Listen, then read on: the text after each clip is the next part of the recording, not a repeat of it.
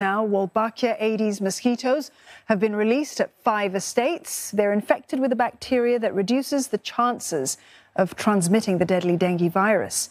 And for more, we're joined by Professor Ooi Eng Eong. He is Professor of Emerging Infectious Diseases at Duke NUS Medical School.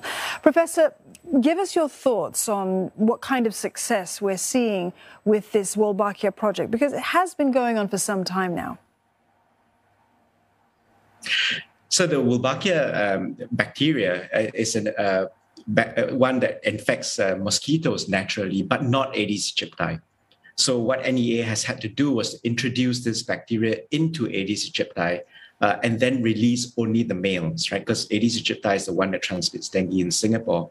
And when the male infected, the infected male mosquitoes mate with the females, then the offspring will die. And, and therefore, that will help towards uh, reducing the overall mosquito population density in Singapore.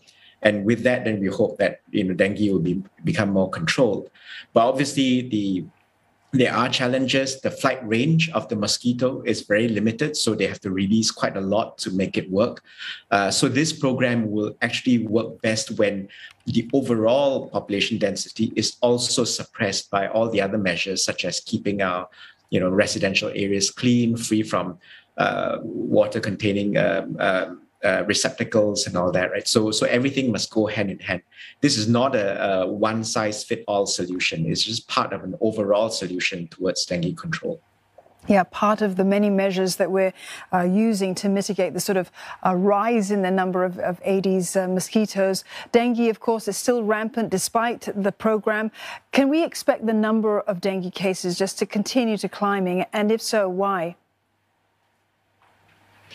I think there are many factors involved. Uh, one is that the virus is uh, uh, a new type, so dengue 3. Uh, last time dengue 3 caused an outbreak in Singapore was back in 1992. So we have not had a dengue 3 outbreak for many years. Uh, and so one possibility, of course, is that um, the overall uh, population density, uh, overall immunity levels of dengue 3 is low because we've not had an outbreak from this virus for a while.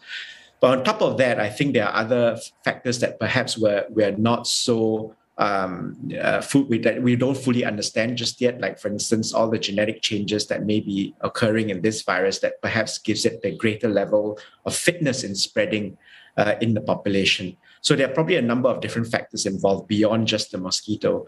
And, and I think all of this would just have to uh, one that we have to learn from it. And two you know i think our ability to control dengue will be much better once we have a, a good vaccine as well as good antiviral drugs to treat in, uh, the cases early. Professor thank you very much for that. That was professor Ooi Eng Eong from the duke nus medical school